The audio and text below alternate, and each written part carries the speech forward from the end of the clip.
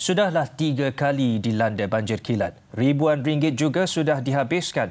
Namun peristiwa banjir besar di Sepang, Selangor yang meragut satu nyawa tahun lalu yang menjadi kegusaran penduduk diharap tidak berulang. Desakan penduduk hanya kerja mendalamkan Sungai Labu dilihat mampu menyelesaikan masalah yang tiada berkesudahan ini. Ikuti laporan wartawan Aduan Rakyat Zulfakri Syamsul Arifin. Dalam kejadian banjir 18 Disember tahun lalu, Sepang antara kawasan yang dilanda banjir kilat. Sekali lagi kawasan ini dilanda musibah itu 17 November lalu. Antara kawasan terjejas Taman Desa Salak Pekerti, Taman Indah Putra dan Taman Salak Budi. Dan terbaru, bencana ini turut berulang minggu ini membabitkan Taman Delima Jaya serta beberapa jalan di kawasan Kota Warisan. Dakwa penduduk, Sungai Labu yang semakin cetek ini tidak dapat menampung air hujan yang turun lebat sekitar 2 hingga 3 jam dan menyebabkan limpahan air sungai ini turun ke kawasan penduduk. Dan jika kita dapat saksikan di sini, di rumput ini, ini merupakan kesan air sungai yang baru sahaja surut. Perbezaan level antara uh, sungai dan juga saliran parit di taman di mana pengaliran air daripada taman untuk keluar ke sungai itu tak dapat dilakukan. Maksudnya sungai tu uh, parit daripada uh, aliran air daripada flow daripada parit tu tak boleh pergi ke sungai. Itu menjadi punca kepada apabila hujan lebat berlaku di taman-taman kita uh, akan cepat berlaku banjir.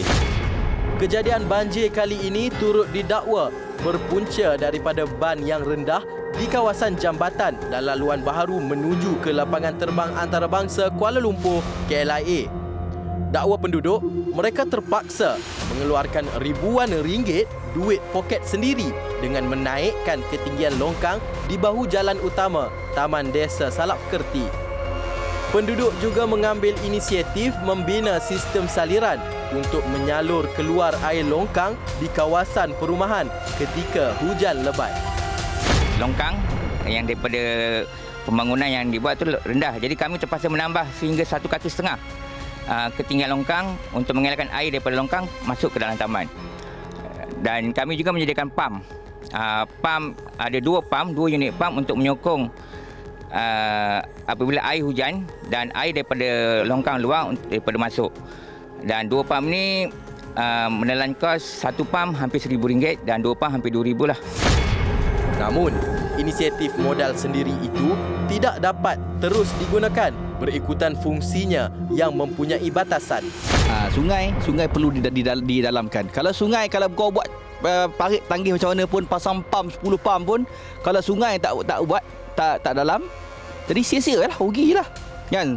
Kita kita jangan salah jangan menyalahkan, tapi yang penting selesaikan masalah.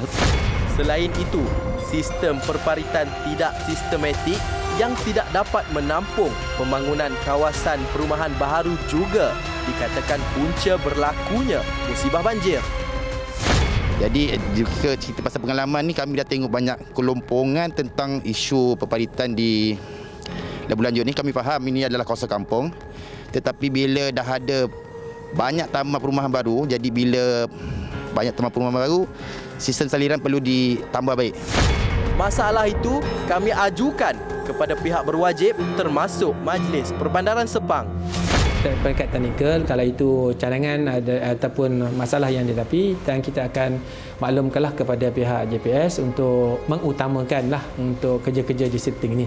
Tadi itu di luar bidang kuasa saya lah. Saya cuma pihak kami boleh menyampaikan maklumat tersebut kepada pihak yang berkenaan untuk memastikan apa aliran air itu berjalan dengan dengan baik kalau katakan longkang majlis bersih, sungai pula tak boleh lalu air, dia akan patah balik kepada longkang. Jadi banjir tak dapat diatasi. So kita harap dengan kolaborasi ini boleh menyelesaikan masalah yang dihadapi oleh penduduk. Lah. Emailkan aduan anda berserta nombor telefon untuk dihubungi ke aduan rakyat at tv3.com.my. Zulfakri Syamsul Arifin, Aduan Rakyat, TV3, ambil peran.